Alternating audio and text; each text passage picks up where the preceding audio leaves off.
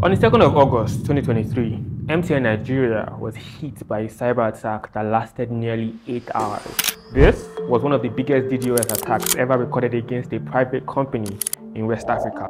And this event was claimed by the activist group Anonymous Sudan. It came just days after similar attacks in Kenya, Tanzania, and Uganda. A wave that had already taken down public services banks, and mobile money services across East Africa. Now, in case you are wondering, what's a DDoS attack? A DDoS attack is like flooding a building with fake visitors until the real ones can't get in. And this was what MTN experienced, a storm of fake traffic from compromised devices worldwide, which was meant to crash their voice and data networks. Now, thankfully, MTN saw early warning signs and they quickly activated their security system. Now, MTN did not share all the details, but here's how this usually works. Telecoms usually use a layered defense with tools that watch network 247. And with the help of AI, they are able to spot any unusual activities like a sudden surge in data. Now, once they detect a threat, they usually scale up their capacity to stop the surge. But here's the part most people miss. Many of the devices used in these attacks were not owned by the hackers. According to Gideon Adekile, MTN's general manager for information security, many people do not know about internet hygiene. Their devices usually get compromised and are used in attacks such as this.